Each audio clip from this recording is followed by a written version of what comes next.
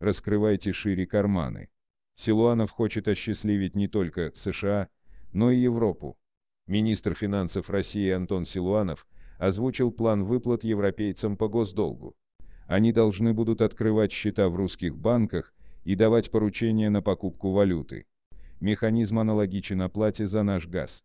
Однако ничего хорошего в этом нет.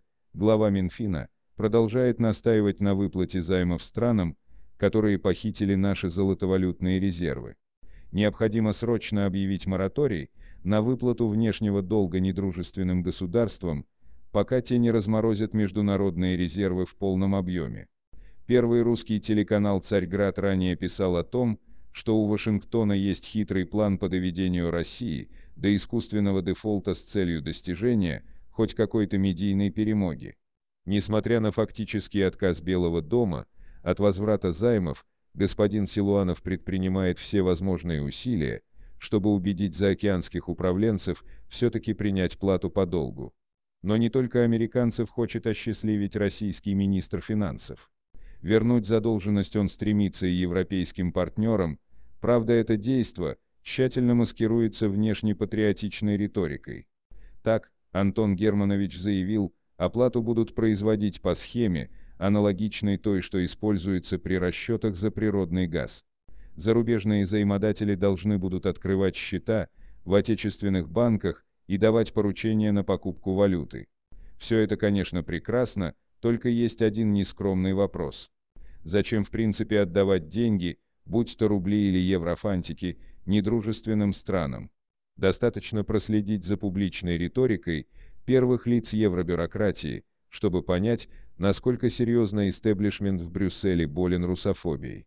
И подобным адептам усиления давления на нашу страну Антон Германович предлагает возвращать деньги. Но может следует отделять мух от котлет, может политика отдельно, а финансовые обязательства отдельно. Так нет же. Коллективный Запад давно нарушил все писанные и неписанные правила рыночной экономики, растоптал нормы Всемирной торговой организации, начал действовать в откровенно беспредельной манере. Напомним, Соединенные Штаты Америки, Европейский Союз, Великобритания и же с ними заблокировали русские золотовалютные резервы на сумму, превышающую 300 миллиардов долларов. С кем тут разговаривать? Кому возвращать деньги? Нам свое бы вернуть. Кроме того, давайте не забывать и о масштабных конфискациях имущества граждан России по всему белу свету. Да, нам приятно видеть, как олигархи теряют все нажитое своим, с позволения сказать, трудом. Но это деньги, которые с помощью определенных законодательных и административных механизмов потенциально можно вернуть на родину. Правильное действие в данной ситуации напрашивается само собой.